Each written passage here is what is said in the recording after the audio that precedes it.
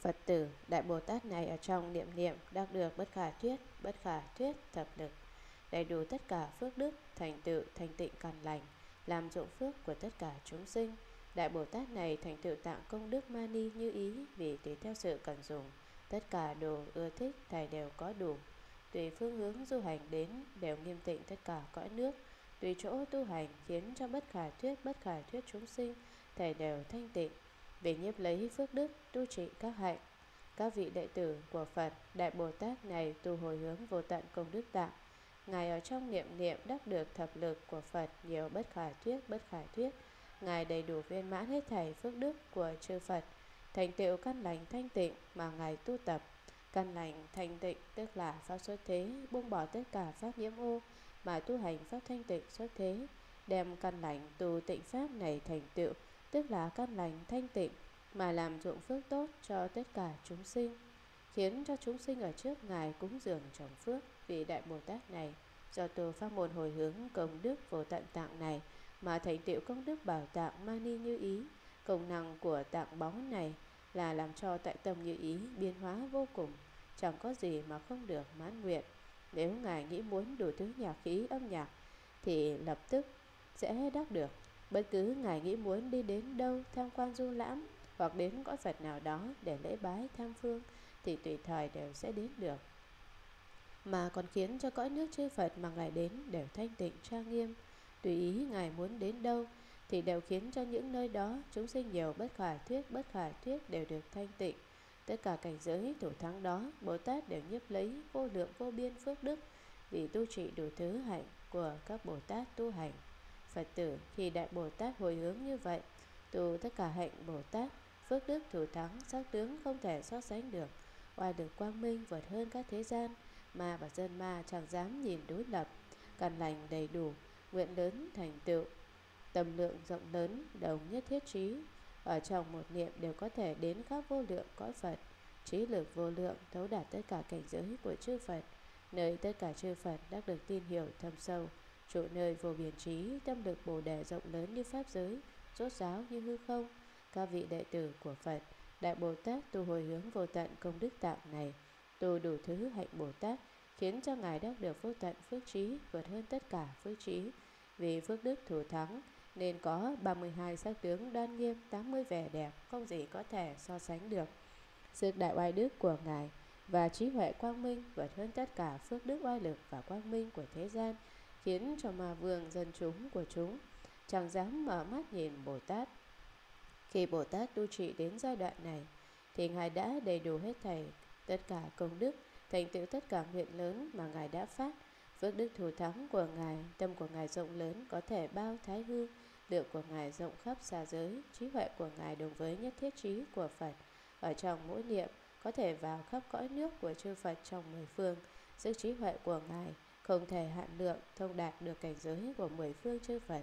Đối với đạo lý của chư Phật chứng được tin hiểu sâu xa không có hoài nghi. Vì Ngài an trụ ở trong vô lượng trí huệ, Bồ Tát Ngài phát tâm Bồ Đề rộng lớn như Pháp giới, rốt giáo như hư không, chẳng có chỗ nào mà chẳng đạt đến. Phật tử, đó là hồi hướng vô tận công đức tạng thứ năm của Đại Bồ Tát. Các vị đệ tử của Phật, Kinh văn Trường Hàng vừa nói ở trên, là pháp môn hồi hướng vô tận công đức tạng thứ năm của Đại Bồ Tát tu hành. Đại Bồ Tát trụ nơi hồi hướng này đắc được mười vô tận tạng. Những gì là mười? Đó là được thấy Phật vô tận tạng, vì nơi một lỗ chân lông thấy được A Tăng Kỳ các đức Phật xuất hiện ra đời, được nhập vào Pháp vô tận tạng, vì dùng trí lực của Phật quán tất cả các Pháp đều vào một Pháp, được nhớ trí vô tận tạng vì thọ trì tất cả Pháp của Phật nói chẳng có quyền mất, được quyết định huệ vô tận tạng vì khéo biết tất cả pháp bí mật phương tiện của Phật nói, được hiểu nghĩa lý thú hướng vô tận tạng vì khéo biết các pháp lý thú phân đảo được vô biên ngộ hiểu vô tận tạng vì dùng trí như hư không thông đạt tất cả các pháp ba đời. Được phước đức vô tận tạng vì dung mãn ý của tất cả chúng sinh không cùng tận. Được dũng mãnh trí giác vô tận tạng vì đều trừ diệt được mà ngu si của tất cả chúng sinh được quyết định biện tài vô tận tạng vì dễ nói tất cả pháp bình đẳng của Phật khiến cho các chúng sinh đều hiểu rõ được thập lực vô ý vô tận tạng vì đầy đủ tất cả hạnh của Bồ Tát đến được nhất thiết trí không chứa ngại đó là mười thì Đại Bồ Tát, Ngài tu trị viên mãn pháp hồi hướng vô tận công đức tạng thứ năm rồi, liền đắc được sự lợi ích vô cùng tận như tạng báu. Hiện tại quy nạp về 10 vô tận tạng. Những gì là 10? Bồ Tát Kim Cang Tràng thầy đều phân biệt giải thích. Mỗi thứ trước hết đều đưa ra tên mục tiêu, sau đó thuyết minh. Một, được thấy Phật vô tận tạng. Bồ Tát tu tập viên mãn hồi hướng thứ năm được thấy vô số lượng các đức Phật, thậm chí ở trong một lỗ lông đều có thể thấy được các vị Phật nhiều như số A Tăng Kỳ xuất hiện ra đời giáo hóa chúng sinh. Đó là biểu thị ý nghĩa tâm tánh không lớn nhỏ, một nhiều không hạn. Vì liễu ngộ, mình bạch rồi thì chuyển thức thành trí, trí tịnh ảnh rõ. Cho nên có thể được cảnh giới này. Chứ chẳng phải phàm phu dùng huyễn giác của ý thức hiển hiện. hai Được nhập vào Pháp vô tận tạng, được nhập vào nghĩa lý thâm sâu của Pháp, dùng sức trí huệ, như Phật quán sát tất cả các Pháp đồng như một Pháp, quán tất cả các Pháp cũng đồng như một Pháp, vì Bồ Tát đã chứng biết Pháp lý nghĩa thú, hay dùng diệu huệ biết mật nghĩa của Pháp, phương tiện khéo léo, quyền thật tự tại vận dụng cho nên Ngài quán tất cả Pháp đều vào một Pháp. 3. Được nhớ trì vô tận tạng, nhớ là ghi nhớ, trì là thọ trì, thọ nơi tâm, trì nơi thân, Nhớ trì tức là nói sức trí nhớ của mỗi người rất mạnh, lọt qua mắt không quên. Bất cứ kinh điển gì chỉ cần lọt qua mắt của Ngài, nhìn qua một lần thì vĩnh viễn nhớ rõ. Phật Pháp mà mười phương ba đời chư Phật đã nói, nay nói và sẽ nói. Ngài chỉ cần nghe qua xem qua thì vĩnh viễn chẳng quên mất. Ngài nhất định tâm thần lãnh hội y giáo phụng hành. Cổ nhân có nói, một khi lọt vào mắt vĩnh viễn là hạt giống đạo. 4 được quyết định huệ vô tận tạng. Quyết định tức là có trí huệ thấy biết như thật, chẳng có sự nghi ngờ không quyết định. Bất cứ chuyện gì đến, lập tức nhận thức rõ ràng, dùng trí để quyết đoán. Trí huệ của Bồ Tát thành tịnh, trí huệ xuất thế đệ nhất nghĩa đế, chẳng có biên kiến, ngã kiến. Trí huệ thế gian của phàm phu chẳng thuần tịnh, là một thứ ngã kiến, biên kiến, ngu si biểu hiện. Bồ Tát chẳng những có trí huệ quyết định vô cùng tận, mà Ngài còn khéo mình bạch Pháp phương tiện bí mật của chư Phật nói. và phương tiện là căn cứ vào cơ sở của chúng sinh. Đối với sức hiểu biết của chúng sinh mà nói ra Pháp khiến cho chúng sinh rất dễ tiếp thọ. Đó là trí huệ diệu dụng giáo hóa chúng sinh không thể thiếu khuyết. 5. Được hiểu nghĩa lý thú hướng vô tận tạng, nghĩa là chân chánh đạo lý của Pháp. Thú là thú hướng của nghĩa lý. Hiểu nghĩa thú là nói Bồ Tát đắc được thấu rõ minh bạch nghĩa lý của Pháp sở tại, chẳng chừng gì thấu rõ nghĩa lý thú hướng của một Pháp, mà đủ thứ Pháp, đủ thứ nghĩa lý, đủ thứ thú hướng. Pháp lý có đạo lý thâm áo, có đạo lý nông cạn, hiển hiện dễ thấy.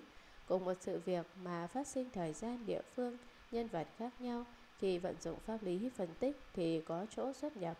Bồ Tát vì đắc được vô tận trí huệ hiểu rõ nghĩa lý thú hướng nên Ngài có thể biết phần tề các lý thú. Phần tề tức là chỉ khinh trọng, nãn cấp, lớn nhỏ, sâu cạn mà nói. 6. Được vô biên ngộ hiểu vô tận tạm. Ngộ là minh bạch, ngộ nói ở đây chẳng phải nói hiểu được một việc gì, mà là nói giác ngộ, ngàn vạn sự việc thầy đều minh bạch. Người tu hành phải luôn luôn cầu được khai ngộ, vì khai ngộ rồi thì trí huệ thanh tịnh sẽ hiện rõ. Đối với vạn sự vạn vật trên thế gian đều thấu suốt rõ ràng. Hiểu là thấu hiểu, đối với tất cả sự việc khó khăn hoài nghi đều nghênh nhận mà giải. Bồ Tát đắc được vô biên trí ngộ hiểu, mình bạch thấu rõ chẳng có bờ mé, giống như hư không. Vì có trí huệ vô thượng này, cho nên Ngài thông đạt được pháp vi diệu thâm sâu của chư Phật mười phương ba đời nói, hết thảy đều ngộ hiểu.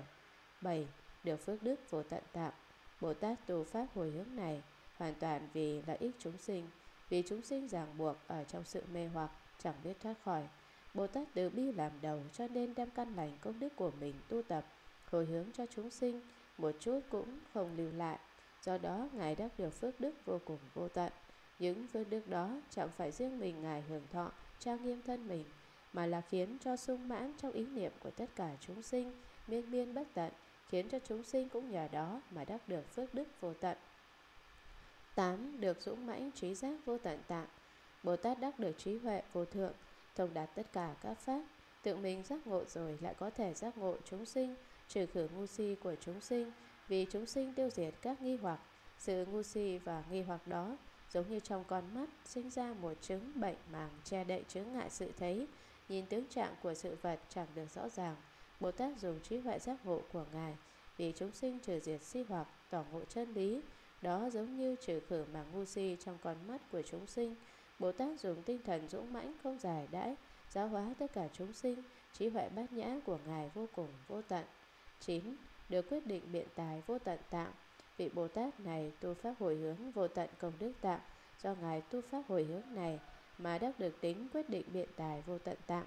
Tính quyết định tức là phải thông đạt thật tướng các pháp Mới có chân lý lập trường kiên cố, Sau đó vận dụng trí huệ viên dùng vô ngại Thảo thảo bất tuyệt như nước chảy Chiến thắng các quần ma, Hàng phục các tà luận của ngoại đạo. Như thế mới chân tránh đắc được tam muội biện tài. Đại Bồ Tát tu hồi hướng công đức vô tận tạng, Nên Ngài đắc được quyết định biện tài vô tận tạng này. Ngài có thể diễn nói Pháp bình đẳng của mười phương chư Phật. Pháp của chư Phật nói đều là bình đẳng Hy vọng đời sau tu học Phật Pháp Đừng có nhìn lệch lạc mà khởi sự phân tranh. Khi Bồ Tát diễn bày các Pháp Thì chúng sinh nghe rồi Tùy theo căn tánh của mỗi người mà đều đắc được lợi ích lớn. Mỗi người nghe Pháp đều minh bạch được nghĩa lý của Phật Pháp. 10. Được thập lực vô ý, vô tận tạng.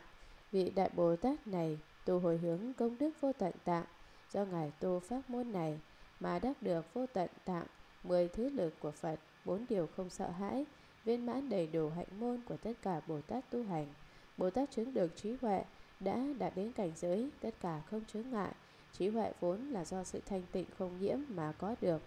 Có tầm sáng suốt thanh tịnh không nhiễm thì có trí huệ, có trí huệ thì chẳng có chướng ngại. Mà thông đạt không vướng mắc, Chẳng có trí huệ là vì ngu si, Thấy lệch lạc, chấp trước, Cho nên ở đâu cũng bị chướng ngại. Mười thứ trí đức tạng báu vô tận tạng vừa nói ở trên là của vị Đại Bồ Tát này tu hồi hướng công đức vô tận tạng đắc được Sáu thứ ở trước là nói về Bồ Tát được tặng báo tự lợi Bảy, tám và chín là nói về Bồ Tát được tặng lợi tha Tạng cuối cùng là nói về sự thành quả của Bồ Tát tu hành. Phật tử khi Đại Bồ Tát đem tất cả căn lành hồi hướng thì đắc được mười thứ vô tận tạng đó. Bồ Tát Kim Cang Tràng lại gọi một tiếng các vị đệ tử của Phật. Vị Đại Bồ Tát này tu pháp hồi hướng công đức vô tận tạng, cho nên Ngài đắc được mười thứ vô tận tạng.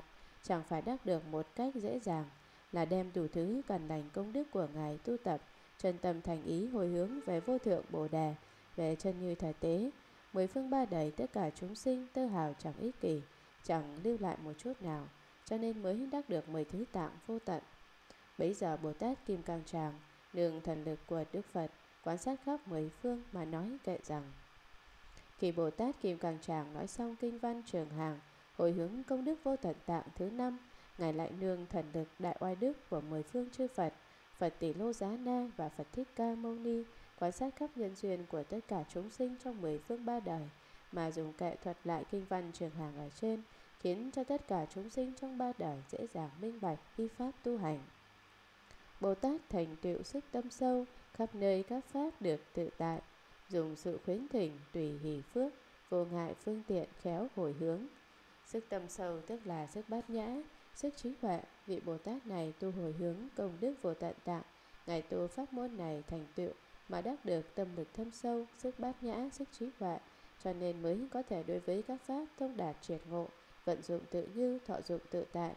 Các pháp tức là tám vạn bốn ngàn pháp mà Phật nói ra, đó cũng là vì đối với căn tánh của chúng sinh, cho nên dùng phương tiện khéo léo để tiện độ chúng sinh, giáo hóa chúng sinh. Bồ Tát khéo vận dụng, cho nên nói khắp nơi các pháp được tự tại, đó là ý nghĩa linh hoạt vận dụng. Vì vị Đại Bồ Tát này thường khuyến thỉnh chư Phật thường trụ ở đời, thường thỉnh chư Phật chuyển bánh xe Pháp, lại tùy hỷ chư Phật tu tập tất cả công đức, đồng thời còn tùy hỷ các vị Bồ Tát lớn nhỏ tu tập tất cả công đức, do khuyến thỉnh và tùy hỷ cho nên Ngài đắc được vô lượng phước báu. Bồ Tát có trí huệ thủ thắng, vô lượng phước báu. Lại đỡ ngộ các pháp khéo vận dụng, do đó Ngài dùng pháp môn phương tiện khéo léo, viên dung vô ngại, đem tất cả căn lành công đức hồi hướng về vô thượng bồ đề về chân như thật tế cho pháp giới tất cả chúng sinh ba đời hết thảy các như lai nghiêm tịnh cõi phật khắp thế gian hết thảy công đức đều đầy đủ hồi hướng cõi tịnh cũng như vậy ba đời đời quá khứ đời hiện tại và đời vị lai Ở trong ba đời này, mười phương vô lượng chư Phật, cõi nước của các ngài ở đều thanh tịnh trang nghiêm. Cõi Phật đó chẳng phải tại một nơi mà là đầy khắp mười phương thế giới. Vị Đại Bồ Tát này tu hồi hướng công đức vô tận tạng, đủ thứ công đức mà ngài tu tập, thầy đều viên mãn đầy đủ, chẳng có sự thiếu khuyết nào.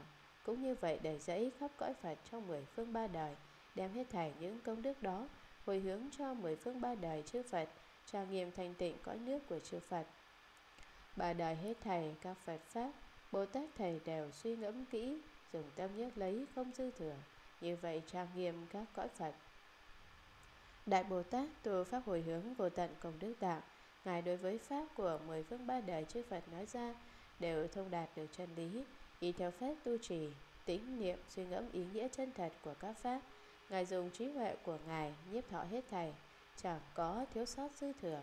Ngài đối với các Pháp chẳng có biên kiến chấp trước, cũng chẳng phân biệt Pháp này cao, Pháp kia chẳng rốt ráo.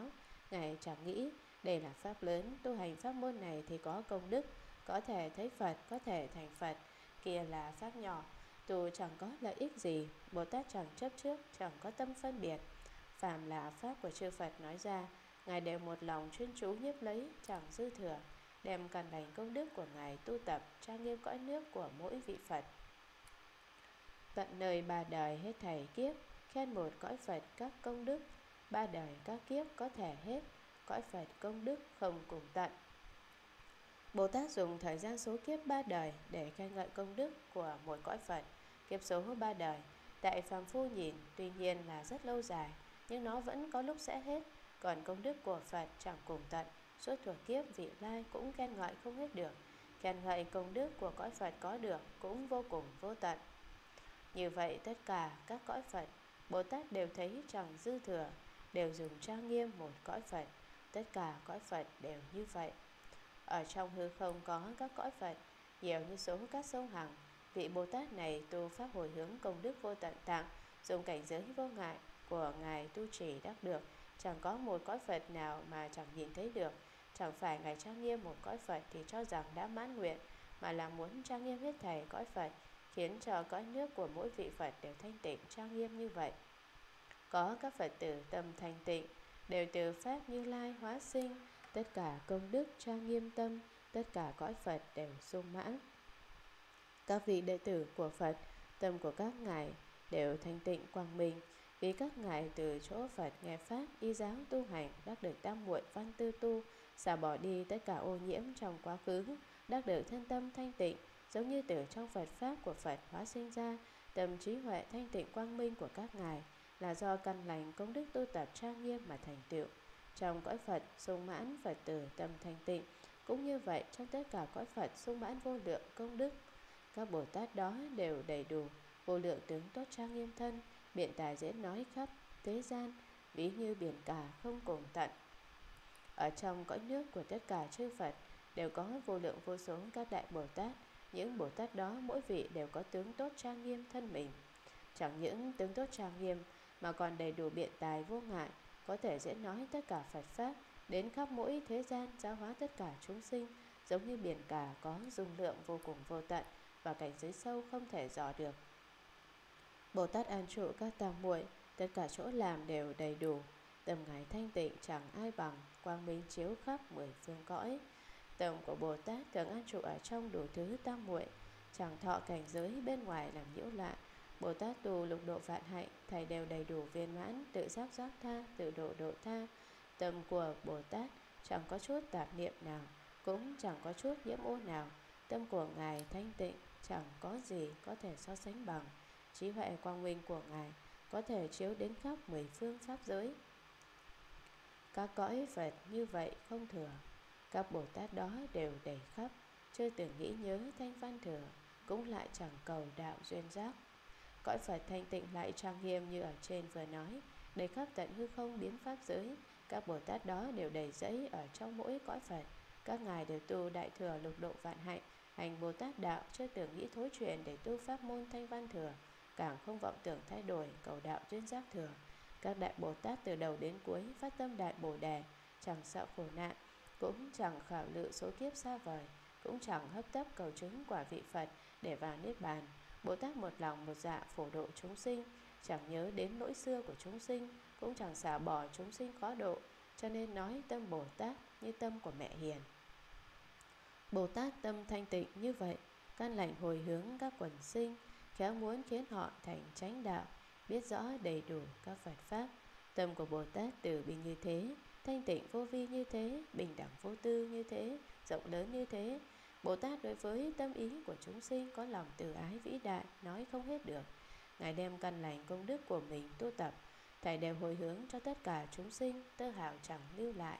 Dụng tâm của Ngài chẳng phải giao hảo tốt với chúng sinh, khiến cho họ cảm kích Ngài, cúng dường Ngài, mà là mục đích của Ngài hy vọng mỗi chúng sinh đều đắc được lợi ích của Ngài hồi hướng để sớm thành Phật đạo và minh bạch tất cả Phật Pháp của chư Phật nói, biết y giáo phụng hành, thiết thực y chiếu đạo lý của chư Phật nói, làm đệ tử Phật tâm địa thiện lương, phẩm đức tốt đẹp, hành vi đoan tránh. Mười phương hết thầy các ma oán, oai lực Bồ Tát đều phá tan, dũng mãnh trí huệ không ai bằng, quyết định tu hành pháp rốt giáo. Chúng sinh có bao nhiêu thì ma có bấy nhiêu, Phật có bao nhiêu thì ma cũng có bấy nhiêu. Cổ đức có nói, đạo cao một thước, ma cao một trượng, đạo cao một trượng, ma ở trên đầu. Mỗi người tu hành phải trải qua mấy phen tu luyện mới có thể biết vượt qua được sự khảo nghiệm hay không. Nếu không vượt qua được sự thử nghiệm thì không thể nào thành Phật. Muốn thành Phật thì trước hết phải trải qua sự khảo hạch của ma vương, nhận thức rõ ràng sự khác biệt giữa Phật và ma thì tự nhiên sẽ chuyển biến cảnh giới ma làm cảnh giới Phật. Giả như muốn có phước báo tốt thì trước hết phải thọ đủ thứ khốn khổ hoạn nạn. Mười phương thế giới đều có Phật, mười phương thế giới cũng đều có ma. Kỳ thật ma cũng trợ giúp người thành đạo, bất quá phương hướng dẫn đạo của chúng khác nhau. Chúng thì trợ giúp người mặt trái Chúng dùng phương pháp dẫn dụ để mê hoặc bạn, khảo nghiệm bạn Tại chỗ quan hệ này nếu nhận rõ nghiệp thiện ác chẳng bị dẫn dụ, chẳng bị mê hoặc Thì sẽ chẳng làm con của ma, dân của ma Sẽ thoát khỏi phạm vi các ma oán. Đại Bồ Tát tu pháp hồi hướng công đức vô tận tạo Ngài thành tựu sức thần thông đại oai đức Hạng phục được, tiêu diệt được hết sạch tất cả ma oán. Bồ Tát có sức oai thần dũng mãnh kiên cường Chẳng có ai có thể thắng hơn đại trí huệ của Ngài. Cho nên Ngài quyết định phải tu hành chánh pháp.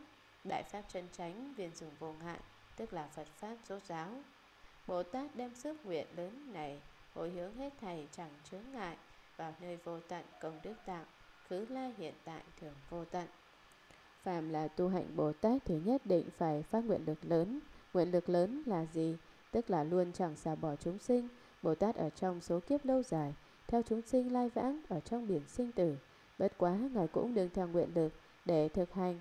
Bồ Tát đời quá khứ, Ngài đã phát ra nguyện lớn. Bồ Tát đời hiện tại đang phát nguyện lớn hành Bồ Tát đạo.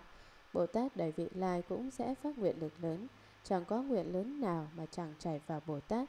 Vị đại Bồ Tát này tu hồi hướng công đức vô tận tạng, căn cứ vào nguyện lớn của Ngài đã phát mà tu pháp môn hồi hướng này, đem căn lành công đức vô tận của Ngài đã tu tập, Thầy đều hồi hướng cho tất cả chúng sinh Chẳng lưu lại chút nào Do công đức hồi hướng này mà vào nơi công đức tạng bóng vô tận. Đây là chẳng có thời gian hạn chế, Quá khứ, hiện tại, vị lai, Hồi hướng của Ngài chẳng có hạn lượng, Công đức của Ngài vô cùng vô tận. Bồ Tát khéo quán các pháp hành, Thông đạt tánh đó chẳng tự tại. Được biết các pháp tánh như vậy, Chẳng vọng lấy nghiệp và quả báo. Vị Đại Bồ Tát này tu hồi hướng vô tận công đức tạng, Ngài khéo quan sát đủ thứ pháp môn tu hành. Ngài minh bạch, thông đạt, Hết thảy tất cả pháp đều là vô thường. Đều là pháp sinh diệt Cho nên nói ngày thông đạt được tánh của nó là chẳng tự tại. Tự nhiên đã biết pháp tánh của các pháp là khổ, không, vô thường, vô ngã Cho nên Bồ Tát chẳng vọng sinh tâm phân biệt. Để phân biệt nghiệp thiện, nghiệp ác Cũng do đó chẳng có quả báo nghiệp thiện ác. Chẳng có pháp sắc, pháp vô sắc cũng chẳng có tưởng không không tưởng. Pháp có pháp không Thầy đều không Biết rõ tất cả không chỗ được. Chẳng có pháp sắc cũng chẳng có pháp vô sắc. Pháp sắc tức là pháp năm uẩn Bao quát sắc thọ tưởng hành thức. Sắc thì có hình thể, Thọ tưởng hành thức thì không có hình thể, Đều là không, là giả. Bồ Tát hiểu được đạo lý này. Ở trong mắt của Ngài vốn chẳng có pháp sắc năm uẩn Và quan niệm pháp không sắc. Chẳng có tưởng uẩn cũng chẳng có lối nhìn về tưởng uẩn. Bất cứ là pháp hữu vi hoặc là pháp vô vi đều là không, là huyễn. Nếu như minh bạch để tất cả pháp đều là không, chẳng có tướng, Thì càng chẳng có điều gọi là nguyện, Trí và đắc cũng là hư không. Do đó vô trí diệt vô đắc, Trong tâm kinh nói rất là thấu triệt. Tất cả các pháp nhân duyên sinh, Thể tánh chẳng có cũng chẳng không, Mà nơi nhân duyên và chỗ khởi, Trong đó rốt ráo chẳng chấp trước. Hết thảy tất cả các pháp bất luận là pháp năm uẩn 12 nhân duyên và pháp bốn đế, vân vân đều từ nhân duyên sinh ra, Pháp từ nhân duyên sinh ra, Thể tánh của nó chẳng có, Cũng chẳng không. Do đó không thể nói nó có, Cũng không thể nói nó không có. Tóm lại, Các pháp từ duyên sinh, Các pháp từ duyên diệt. Nó chẳng phải là pháp hữu vi, Cũng chẳng phải là pháp vô vi. Nó chỉ là tùy nhân duyên mà sinh diệt. Do đạo lý đó, Nên ở trong các thứ pháp Đừng sinh ra tâm chấp trước, Tự mình vây khốn mình. Tất cả chúng sinh nơi ngôn ngữ, Trong đó rốt ráo chẳng chỗ được. Biết rõ danh tướng đều phân biệt, Thấu hiểu các pháp đều vô ngã. Đủ thứ chúng sinh có đủ thứ ngôn ngữ Ngôn ngữ thì chẳng có tướng là không. Như muốn truy cứu chỗ thật tại của ngôn ngữ Thì chẳng có chỗ đắc được. Nếu bạn minh bạch được tất cả sự vật có tên, có tướng, Đó là do phân biệt mà thành, Thì tự nhiên sẽ biết rõ tất cả pháp đều là vô ngã. Như tánh chúng sinh vốn vắng lặng Biết rõ tất cả pháp như vậy Nhiếp lấy ba đời không thừa sót, Cõi và các nghiệp đều bình đẳng. Tất cả bản tánh của chúng sinh vốn đều là vắng lặng. Căn cứ vào đạo lý này, Thì sẽ minh bạch được hết thảy tất cả đủ thứ pháp Đều cùng một đạo lý như nhau. Nhìn về thời gian ba đời, Thì tựa như khác nhau, Nhưng nó nhiếp lấy tất cả pháp đồng nhau không có sót thừa. Bất luận là cõi Phật Hoặc nghiệp thiện ác, chúng sinh tạo ra đều là bình đẳng. Dùng trí như vậy mà hồi hướng, Tùy theo ngộ hiểu, phước nghiệp sinh, Các phước tướng đó cũng như hiểu. Sao lại trong đó có chỗ được? Dùng trí huệ vô thượng như đã nói ở trên, Để hồi hướng cho tất cả chúng sinh Để theo sức ngộ hiểu minh bạch tất cả các nghiệp, Tất cả quả báo của mình, Mà không chấp trước vào nơi pháp Chẳng bị khốn ở trong các nghiệp và quả báo, Thì tâm ý tự nhiên tự tại, Phước nghiệp tùy theo đó mà sinh ra Đối với điều gọi là tướng tất cả phước đức, Cũng hiểu rõ, Nó là như huyễn, như bọt bóng. Nghiệp chướng vốn cũng là hư vọng không thật. Ở trong trí giải này thông đạt vô ngại Lại có thể tìm ra cái gì, Lại có thể đắc được cái gì? Hồi hướng như vậy, Tâm không dơ, Vĩnh chẳng xưng lượng các pháp tánh. Thông đạt tánh nó đều chẳng tánh, Chẳng trụ thế cũng chẳng xuất thế. Vị Đại Bồ Tát này tu pháp hồi hướng vô tận công đức tạng khi Ngài đem căn lành tu tập hồi hướng cho tất cả chúng sinh, Thì dùng tâm thanh tịnh của Ngài để hồi hướng. Ngài tu hạnh thanh tịnh, Diễn nói pháp thanh tịnh, Dùng pháp thanh tịnh để giáo hóa chúng sinh, Điên đảo trong đời ác năm trường.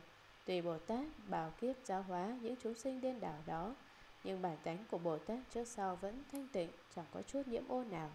Ngài liệt khỏi tất cả lỗi ác, Vĩnh viễn chẳng làm điều ác, Mà tu tất cả các nghiệp lành, Quyết không bị cảnh giới chuyển biến. Bồ Tát dùng trí huệ và định lực thủ thắng. Tùy duyên không thay đổi, Không thay đổi mà tùy duyên. Cho nên nói khi Ngài tu hồi hướng Thì tâm của Ngài không dơ. Chữ dơ ở đây cũng có thể nói là chấp trước. Nếu có sự chấp trước thì sẽ sinh ô nhiễm. Nếu chẳng có sự chấp trước thì sẽ thành tịnh. Vì Bồ Tát chẳng chấp trước Nên chẳng thấy cái ta, Chẳng sinh tâm phân biệt. Chẳng nói, Pháp này có rất nhiều ưu điểm, Pháp kia chẳng rốt ráo Có nhiều khuyết điểm. Pháp này giá trị cao, có phân lượng của nó.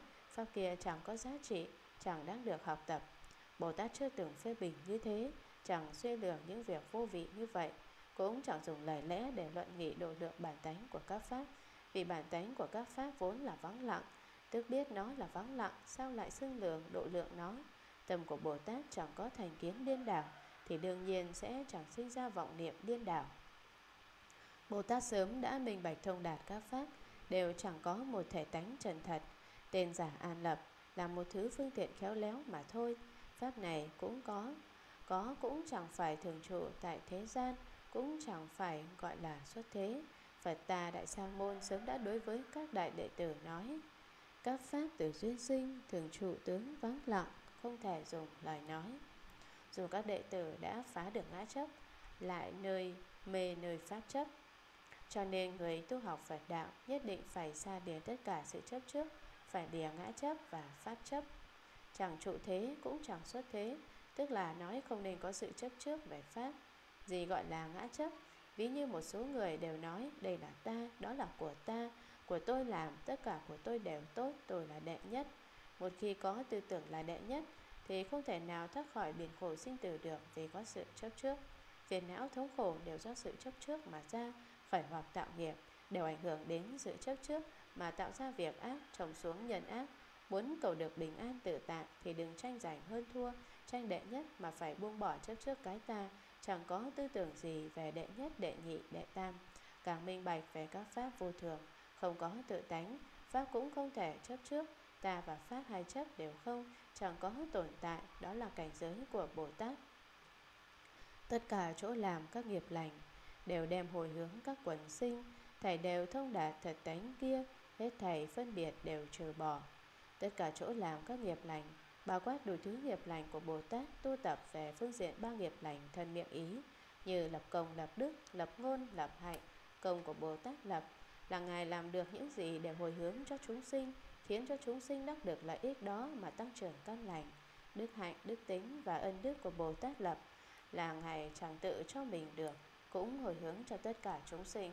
Lời nói của Bồ Tát chẳng hư vọng, chẳng dối trá, chẳng điêu hoa, nói ra câu nào cũng đều sự thật, tốt lành, chẳng có lời nói nào mà chẳng vì lợi ích của chúng sinh mà nói. Hành vi của Bồ Tát càng tử tế, cẩn thận, mỗi cử chỉ, hành động, lời nói, việc làm đều có ý nghĩa, là mô phạm tốt nhất cho chúng sinh. Bồ Tát vì giáo hóa chúng sinh, chẳng kể gì gian nan, chẳng kể gì số kiếp. Trong tầm mắt của Bồ Tát chỉ có thiện, chẳng có ác. Do đó, Ngài tự nhiên làm các điều lành, bất cứ việc ác gì, Ngài cũng không làm. Bồ Tát làm lành, chẳng kể gì lớn nhỏ, chẳng tự khoe khoang mình, chẳng cầu danh văn lợi dưỡng, cho đến Ngài thấy việc ác, dù nhỏ Ngài cũng không làm, dù đối với Ngài có lợi Ngài cũng không làm. Cho nên nói Bồ Tát là làm các điều lành, không làm các việc ác. Cũng vì như vậy mà Ngài đối với ba nghiệp, thần không giết hại, không trộm cắp, không tả dâm, miệng không nói dối, không nói theo dệt, không nói hai lưỡi, không chửi mắng, ý, không tham, không sân, không si. Đó tức là mười nghiệp lành mà Bồ Tát giáo hóa chúng sinh tu học. Bồ Tát đem tất cả căn lành công đức của Ngài tu tập, Thầy đều hồi hướng cho hết thảy chúng sinh. Bồ Tát đối với tánh chân thật của nghiệp thiện đó chẳng có chút nào mà Ngài không minh bạch, do đó điều thiện là vui nhất. Cho nên Ngài đem nghiệp thiện hồi hướng cho chúng sinh. Bồ Tát có tâm lượng như thế là vì Ngài chẳng còn tâm phân biệt giữa ta và người nữa. Ngài xem chúng sinh với mình đều là một thể. Ngài ôm hoài bão vô duyên đại từ, chẳng màng có duyên hay không có duyên, Ngài đều dùng tâm đại từ đối đãi người. Tâm từ hay ban niềm an vui cho người, Đồng thể đại bi, Ngài nhận thấy rằng tất cả chúng sinh và mình đều như nhau. Đó đây chẳng có gì khác biệt. Trong tâm của Ngài chưa từng có tư tưởng phân biệt, cho rằng mình là Bồ Tát, họ là chúng sinh. Ta với họ chẳng giống nhau. Bồ Tát Ngài cảm thấy mọi người trên toàn thế giới đều là một thể. Chúng sinh trên toàn thế giới cũng là một thể. Đủ thứ chúng sinh trong pháp giới đều là một thể. Như thế mới là chân tránh thông đạt thật tánh của người ta và chúng sinh. Hết thầy tất cả thấy hư vọng, thầy đều xả bỏ chẳng sót thừa, lìa các phiền não luồn mát mẻ, trụ nơi giải thoát bậc vô ngại. Trên thế gian đầy rẫy đủ thứ việc hư vọng không thật, mỗi người đều có trí kiến của chính mình, do đó mà xảy ra sự tranh giành. Ai nấy đều có lòng tư dục, tham sân si, đầy rẫy khắp vũ trụ, khiến cho con người chẳng thấy được quang minh, chẳng được mát mẻ. Chỉ có Bồ Tát mới xả bỏ được không sót thừa tất cả hư danh lợi giả, sinh tử hư vọng khiến cho con người đoạn lạc nằm dục tài sắc danh ăn và ngủ ràng buộc con người do đó trí huệ chân thật của ngài mới hiện hiện ra nếu chỉ kiến hư vọng đó chẳng buông xả đặng ràng buộc chẳng được giải thoát thì trí huệ chân thật đó tuyệt đối không hiện ra. Cho nên tôi thường nói với mọi người rằng bỏ chẳng được cái giả chẳng thành tựu được cái thật. Bỏ chẳng được cái chết chẳng đổi được cái sống ai ai cũng đều sợ chịu khổ chỉ tham đồ hưởng thụ. Tôi đối với họ nói Chịu khổ thì hết khổ Hưởng phước thì hết phước. Nghĩ muốn hưởng phước, nghĩ muốn chấm dứt sinh tử thì bạn phải buông xả hư vọng. Còn nếu không thể buông xả hư vọng, Thì cái chân thật đó vĩnh viễn chẳng thể nào đắc được. Tại sao? Vì bạn cứ chạy đuổi theo cái hư vọng, Thì làm sao nhận thức được bộ mặt chân thật? Nghĩ muốn minh bạch đạo lý chân thật, Thì trước hết hãy mau buông bỏ truy kiến hư vọng, Giải thoát khỏi sự ràng buộc của năm dục. Để các phiền não luôn mát mẻ, Các phiền não, tức là rất nhiều phiền não. Phiền não có bao nhiêu? Đại khái có 8 vạn 4 ngàn thứ phiền não Tuy có nhiều phiền não như vậy, Nếu như bạn buông bỏ được nó Thì sẽ mát mẻ. Liệt khỏi được tất cả phiền não Thì luôn luôn sống ở trong sự mát mẻ. Giống như ban ngày, trời nóng như thiêu, Khi ban đêm đến thì trời trở lại mát mẻ. Phiền não của con người tức là nhiệt não. Nhiệt não làm cho tâm ý khó chịu. Đứng ngồi không yên. Ai kêu bạn sinh phiền não, Kỳ thật đều do mình mà ra, Thấy cái ta quá nặng. Có chút gì không được tại tâm như ý Thì nóng giận, hung dữ Giống như cọp ra oai Làm cho người khác không an. Mình cũng chẳng có lợi gì. Lìa tức là lìa bỏ Cũng có thể nói là biến đổi. Chuyển biến như điều được gọi là Chuyển phiền não thành bồ đề. Chuyển biến được phiền não Cũng sẽ luôn luôn mát mẻ. Bồ Tát Ngài chẳng còn phiền não nữa Cho nên Ngài luôn trụ ở trong sự mát mẻ. Thường ở nơi giải thoát phiền dùng vô ngại. Gì gọi là giải thoát? Giải thoát là nói thần tâm của bạn bị một vật gì đó trói buộc. Hiện tại cởi mở ra vật trói buộc bạn, Sự trói buộc con người có một thứ hữu hình. Người khác có thể mở giải trừ cho bạn, Có một thứ là vô hình như phiền não trói buộc nội tâm, tinh thần. Thì đây thì người khác không cách chi giải trừ thế cho bạn, Cũng chẳng phải người khác thêm vào cho bạn. Đây phải tự chính mình giải thoát. Trước kia có một người tu hành hướng một vị lão tu hành Thỉnh cầu chỉ bày cho ngài phương pháp giải thoát Nói xin hỏi thượng tọa phải làm như thế nào mới được giải thoát? Lão tu hành hỏi lại ông ta Ai trói buộc người Vị đó nghe trong tâm nghĩ Ai trói buộc ta? Tại sao ta phải giống như con tầm Tự mình trói buộc mình? Do đó ông ta lập tức khai ngộ để đắc được giải thoát.